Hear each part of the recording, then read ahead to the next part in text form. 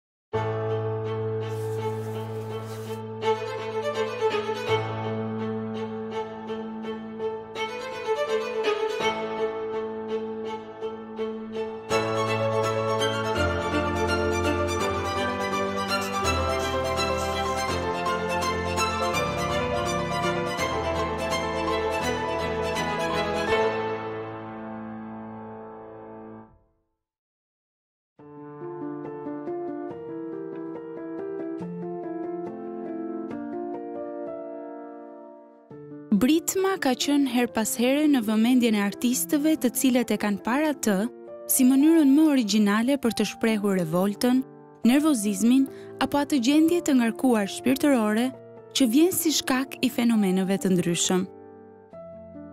Artistit shqiptar Mikel Temo iu deshën tre vite jo fort të zakonshme për të hedhur në telajo britmën e tij, e pastaj për ta shpalosur atë përpara publikut.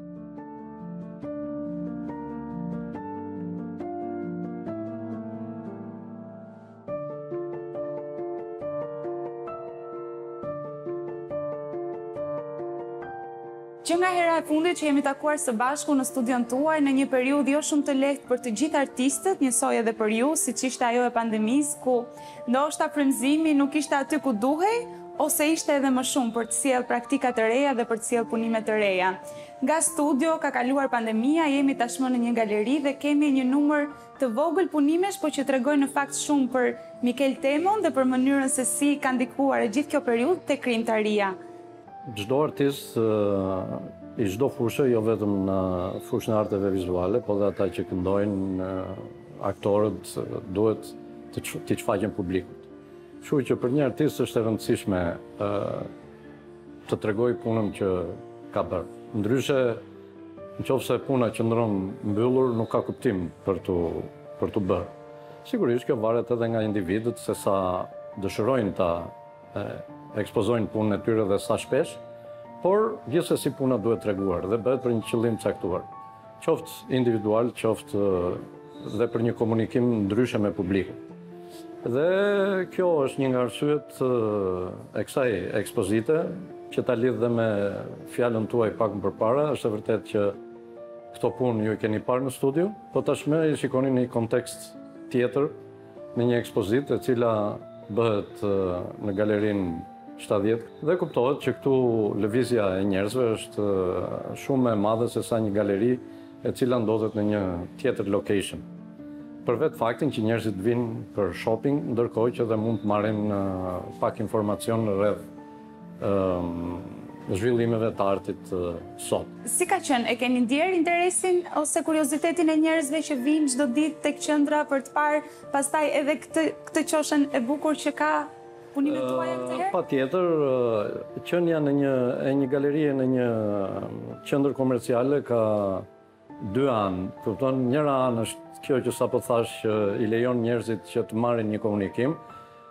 Ë kjo duke qenë se është një galeri që është drejt në komunikim me me hyrjen e e qendrës, sigurisht që i detyron njerëzit të kthejnë kokën sa herë kalojnë dhe marrin aq informacion sa që duhet. Për informacion më të thelluar sigurisht që ata duhet marrin kontakt me galeristen ose me artistin vet, po gjithsesi Vepra e artit e ka këtë qëllim që mund të komunikojë edhe në distancë. Sigurisht që këto vepra po të gjykohen në sensin e njeriut të zakonshëm, nuk janë aq atraktive, për arsye sepse këto vepra kanë një thirrje të brendshme, një thirrje që është pa zë, kupton, është një thirrje që gjithsecili nga ne e ka, po është pikërisht imazhi Ai që të çon te zëri. Dhe është ky imazh i cili komunikon me spektatorin e thjeshtë. Spektatori që është më i specializuar sigurisht kërkon të dijë më tepër dhe ndoshta kjo më tepër është edhe arsyeja e kësaj interviste që po bëjmë me mua prezent në galeri. Për të kuptuar pak edhe mënyrën se si ka ndikuar një periudhë e caktuar, Te krijmtaria juaj për të sjellë këto punime. Që me çfaqjen e Covidit si pandemi u tha që bota nuk do të jetë më siç ka qenë. Pra bota nuk është më siç ka qenë dhe ky është një reflektim kohor që nga fillimi deri sot që këto punë ekspozohen. Pavarësisht se këto punë janë midis dy mijë e nëntëmbëdhjetës, njëzetës e me radhë janë pak punë, po janë të gjitha që përfaqësojnë një kohë të caktuar dhe bota nuk është siç ka qenë për arsyet edhe të tërmeteve që kemi kaluar gjatë pandemisë, edhe të luftërave që janë në Ukrainë, kupton, dhe bota nuk është më e sigurt si përpara. ë ngjarjet në Kosovë po ashtu, kupton, Por, kjo nuk ka të bëjë direkt me, është thjesht një çfaqje emocionale e gjendjes së çdo njeriu që kalon sot.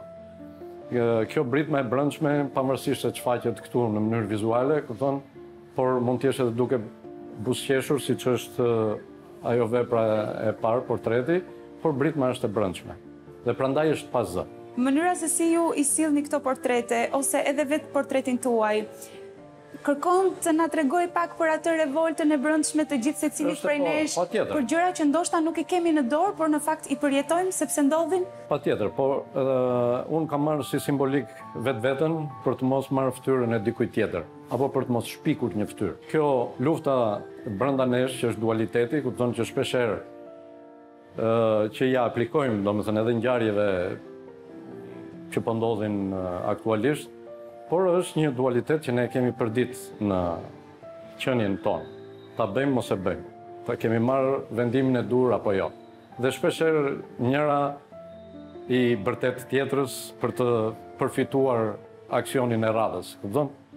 Është një një luftë e brendshme. E brenda dualitetit. Kjo. Edhe kjo dualiteti është brenda nesh të gjithëve. Kështu që ndaj të njëjtën relacion, si të thuash me vetveten, si gjithsecili. Prandaj, titujt janë të shkurtër, face me, face them, face you, që do të thotë që ne jemi gjithmonë në këtë relacionin midis vetvetes, unë dhe vetvetja, unë dhe, dhe ju dhe unë dhe të tjerë. Jemi në punë, jemi në marrëdhënie shoqërore, jemi në marrëdhënie me familjen, me fëmijët, me punëdhënësin, kupton? Dhe kjo është ai ai raporti që ne vendosim vazhdimisht. Dhe sigurisht që gjithmonë tregojmë buzëqeshjen për të fshehur në një farë mase atë që realisht mendojmë. Në qoftë se do të nxirrnim realitetin tonë përditë, do të ishte ndryshe marrëdhënia, do të ishte marrëdhënia ndryshe. Kjo është ajo balanca midis këtyre të dyve që ne kemi dhe një raport të tretë me publikun. Përveç kësaj, fakti që keni sjellë portrete që shprehin në fakt një gjendje të ndryshme, diku kemi një buzëqeshje për të cilën ju po na shpjegoni që vjen si për të fshehur diçka apo për të fshehur një emocion ndoshta më negativ, diku kemi këtë britmën pa zë po që e tregon shumë mirë gjendjen e përjetuar, Na tregon pak edhe raportet e ndryshme të mënyrës se si ne i përjetojmë apo reagojmë ndaj fenomeneve? Pra, njëri prej nesh mund të reagojë pak më qetë, pak më ndryshe? Kjo varet nga ana karakteriale e gjithsecilit dhe si secili prej nesh përjeton kur shikon një imazh. Sepse, në qoftë se ky imazh ka një domethënie për mua, për ju ka një domethënie tjetër në bazë të eksperiencës tuaj personale. Mund t'ju kujtojë diçka që mund të më thuash që unë nuk e shoh dot këtë pikturë. Domethënë, sjell emocione negative. Por, jo domosdoshmërisht, se kjo varet, siç thashë, nga mënyra se si perceptohet. Mënyra se si, për shembull, ë ju jeni përpara meje sot, me një buzëqeshje që jua kërkon vendi i punës. Por brenda teje Mund të kesh diçka tjetër. Po flasim gjithmonë me mund, nuk po e aplikoj si ë ndodhi të rastit, a kupton? Kjo marrëdhënie, kjo ju kërkohet të gjithëve, meqenë edhe mua si pedagog që jam në Universitetin e Arteve, Kur shkoj pranë studentëve i lej hallet mënjanë dhe vesh atë buzëqeshje për të komunikuar me ta dhe për t'ju treguar që we are safe, domethënë jemi Jemi me njëri-tjetrin. Me njëri-tjetrin në ambientin e duhur për një proces ndryshe nga ai që përjetojmë jashtë mureve të punës. Një element shumë i rëndësishëm dhe interesant i gjithë punimeve tuaja, i mënyrës se si sillni portretet, është ajo marrëdhënia e veçantë që krijoni ju me anatominë. Gjithmonë përpiqeni që me detaje të sillni pak. Jo domosdoshmërisht me anatominë, anatomia sigurisht që është pjesë e asaj, por unë kërkoj më tepër anën emocionale të brendshme të kuadrit që mund të jetë edhe një kuadër abstrakt, që nuk ka figurë fare dhe të japi të njëjtin emocion që mund të japi fytyra që është ballore. Kështu që arti figurativ është i njohur, kupton, do të thotë figurë, do të thotë portret, do të thotë peizazh, do të thotë natyrë e qetë, do të thotë brendi. Por problematika ime është për të parë përtej atij portreti, që është thjesht një çfaqje, është një lëkurë në një fletë. Kupton? Është ana e brendshme, ana emocionale. Kjo më shqetëson, kjo më mundon dhe këtë mundohem ta arrij me punën time që vepra të jetë komunikative, të mos e lërë spektatorin të ftofët kur është përpara saj. Pavarësisht nga karakteri i gjithsecilit. Kupton? Gjithmonë Me veprën e artit duhet të kesh një relacion, qoftë edhe kaq i vogël, por jo të jesh indiferent. Sigurisht, kjo është relative, shpeshherë e arrijmë, shpeshherë nuk e arrijmë, por qëllimi është ky, që vepra të komunikojë me spektatorin. Ky hulumtimi juaj si artist në këtë rast, për të parë më tepër gjendjen dhe atë botën e brendshme apo reagimin dhe përjetimin e brendshëm të gjithsecilit, Është më e lehtë të nisë nga vetja? Sigurisht që është më e lehtë të nisë nga vetja, sepse më mirë se ç'e njef ti veten tënde nuk e njef askush. Dhe duke qenë pjesë e këtij peizazhi, me gjithë njerëzit e tjerë, sigurisht që ndajmë shumë të përbashkëta me njëri-tjetrin. Prandaj kam marrë këtë thirrjen e brendshme pa zë si simbol e gjithë, për gjithsecilin nga ne, për dëshirat të cilat janë të paralizuara, për rrugët të cilat nuk janë marrë në drejtimin e duhur, apo janë për t'u marrë nesër, kupton, është kjo dyshimi midis nesh për rrugën që ndjekim dhe vazhdojmë. Fakti që i sillni këto portrete në dimensione relativisht të mëdha, pra jo të vogla, Ju ndihmon për të qenë më tepër ekspresiv, për të qenë më i lirë për të përcjellë ato detaje që ju i kushtoni shumë rëndësi? Patjetër, sepse dimensioni ka të bëjë me komunikimin. Dhe dimensioni bëhet, si të thuash, imponues ndaj atyre që e shohin dhe emocioni është më direkt. Në qoftë se do t'i afrohesh më afër, Pikturës sigurisht do shofësh vetëm në këndin e shikimit do shikosh vetëm pikturën. Por këto janë një çik specifike për spektatorin e thjeshtë për të marrë atë që dëshiron. Për ne si profesionistë ose për dikë i cili ka një lloj njohurie për sa i përket relacionit me veprën e artit, duhet të afrohet deri në atë masë për të marrë atë energji që është bërë vepra për. Kështu që, po, dimensioni është i rëndësishëm. Dhe shpeshherë vepra shumë të mëdhaja vendosen në dimensione të vogla për të patur pikërisht këtë, ë, si të thuash, këtë lloj energjie të wow-t, kupton, që po hyn diku që është jonormale për hapësirë. E tërheq vëmendjen. Po, me artin bashkëkohor luhen këto lloj, ë, marrëdhënies, sepse sot nuk është thjesht vetëm piktura, por është dhe piktura në marrëdhënie me një hapësirë të caktuar, me një sound të caktuar, me një tingull të caktuar, me një muzikë të caktuar.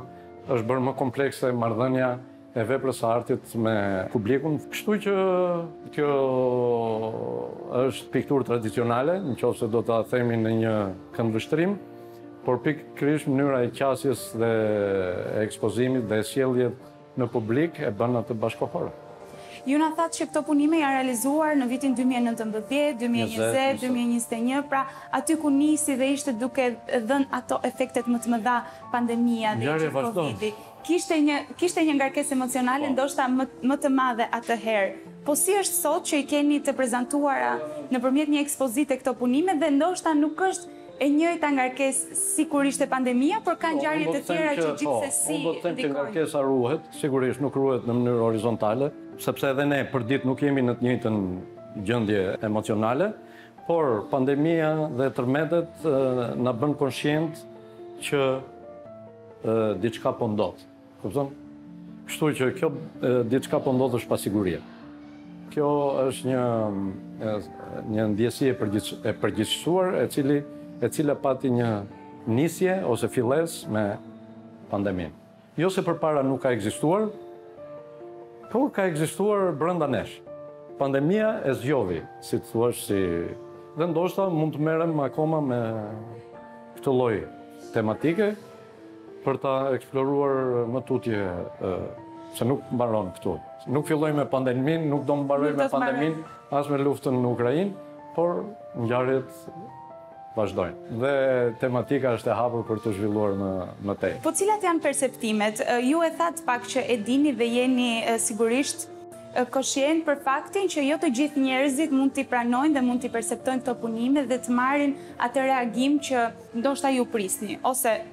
Fakti që një njeri mund të reagojë më pozitivisht, mund ta kuptojë, mund të krijojë një komunikim të caktuar me një nga këto portrete, mund të vijë edhe rasti që të jetë një person që krijon një një ndjesi negative, që të thotë se nuk do ta ta shohë apo të të jetë përballë një gjendjeje të tillë. Ky është qëllimi. Edhe ky është qëllimi, sepse një vepër bëhet shkak ashtu si pandemia për të infiltruar brenda te tjetrit disa emocione të cilat ai pa dashje e kupton që janë që i ka brenda tij. Tematika është e hapur, njerëzit marrin emocionet e tyre dhe i reflektojnë ato qoftë brenda vetes, qoftë edhe duke u shprehur në mediat sociale apo Ka reagime të ndryshme rreth. Sigurisht, kjo më ndihmon mua për të parë se çfarë publiku mendon, apo miqtë e mi që më njohin, kupton, cila është marrëdhënia e tyre në këtë rast me këtë vepër, sepse kjo është hera e parë që unë ekspozoj një emocion të tillë, kupton? Ekspozita tjetër mund të jetë krejt ndryshe, kupton? Dhe prandaj ekspozitat janë interesante sepse ne na shihni në mënyra të ndryshme, me punë të cilat vijnë nga ndjesi të ndryshme.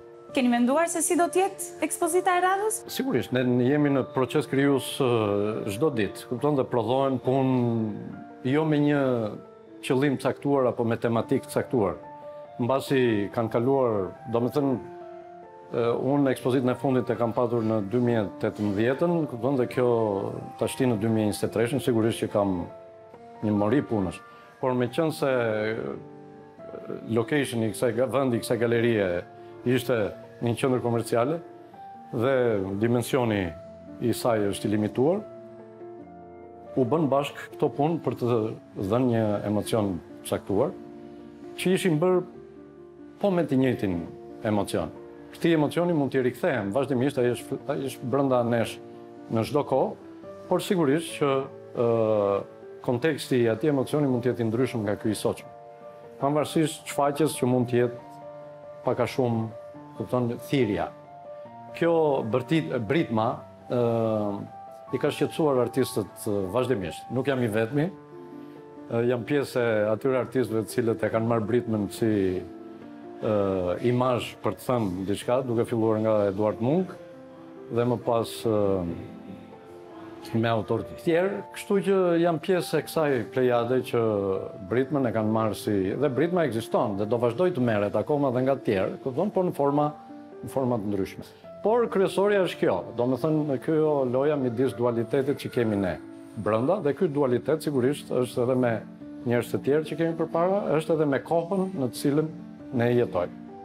Që ju keni zgjedhur ta reflektoni edhe te këto punime. Faleminderit. Faleminderit juve. Ishte kënaqësi.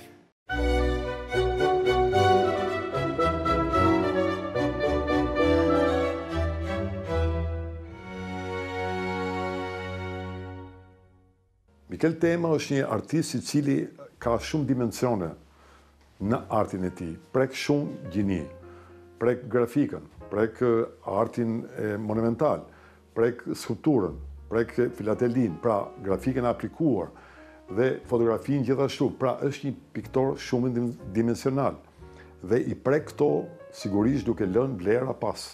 Çdo gjë që prek Mikel Temo e kthen në vlerë.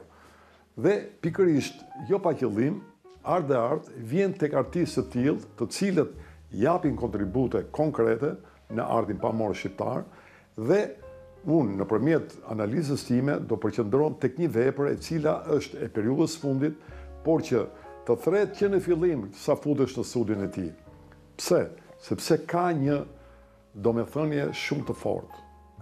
Ajo është me britmë.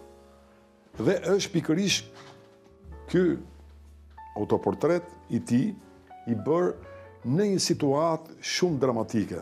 Është në periudhën e pandemisë dhe Mikel Temo ka kaluar shumë problematika të forta, e ka përjetuar shumë thellë atë dhe duket pikërisht nga kjo pikturë që kemi këtu, nga ky realizim, nga ky autoportret, i cili në çdo Element të saj, po të shohim ballin këtu me sytë që kanë një çakërdisje të jashtëzakonshme, domethënë jashtë njerëzore, e britma e cila vjen pastaj nga pjesa e poshtme, goja e hapur, ku dhëmbët janë si të themi shumë agresiv, gjithçka Këtu flet për një lloj tensioni, për një dramaticitet, për një moment ku njeriu që është pikturuar është në një ekstazë të fortë dramatike.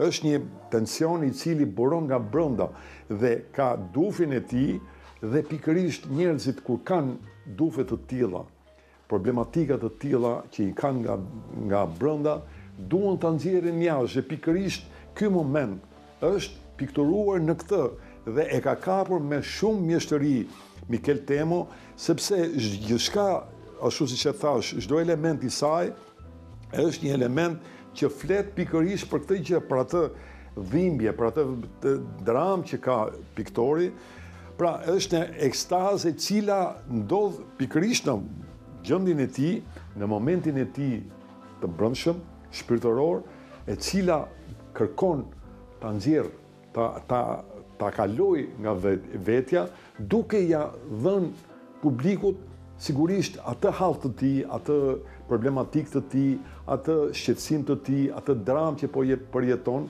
dhe secili nga ne ka dashur në një moment të caktuar të bëjë këtë bërtitmë që e ka dhe dhe ky Mikel Temo këtu në autoportretin e tij në veprën e tij, e cila flet gjithçka për atë që atë tension, atë dramë, atë pamundësi që mund të godasë fort nëpërmjet psikologjisë së tij, e cila në këtë moment me një strukturë piktorike shumë grafike, Ai e bën këtë pikturë që ta godasi menjëherë me forcën e syve, me bërtitmën e gojës së hapur, e cila është shumë e tensionuar, shumë e ka një ngërdheshje shumë të që transmeton dramë, fuqi drame, moment të fortë i cili është vërtet emocionalisht të ngacmon, të godet shumë fort. Dhe pikërisht këtë bëri dhe me mua që unë ta marr në analizë pikërisht që në momentin e parë dhe thashë kjo është vepra në të cilën unë sot do përqendrohem dhe besoj që ndaj me ju të njëjtin shqetësim të njëjtën goditje, të njëjtin emocion, të njëjtin sistem komunikimi me këtë vepër. Një vepër bëhet pikërisht për të treguar pra aq më shumë kur kemi të bëjmë me një autoportret të artistit, kur do të tregojë atë që ai ka përjetuar vetë, Por atë që ka edhe tek aty ku jeton në mjedisin e tij, në qytetin e tij, në Tiranë, ai e ndjen këtë gjë, kudo që hecën, është një moment shumë dramatik. E zgjedh këtë. Dhe e ka zgjedhur këtë që ta bëjë sigurisht në disa vepra, në disa vepra të cilat ai do t'i tregojë jo vetëm veten e tij, pra Por do ta thotë këtë edhe në raporte të tjera me njerëz të tjerë të cilët kanë këtë vuajtje, kanë këtë mendim, kanë këtë perceptim për momentet që jetojnë. Dhe secili ka një moment të tijin, një mundësi të tijën, një, si të themi, një shprehje të tijën emocionale që do nëpërmjet Mikel Temos ta tregojë këtë gjë.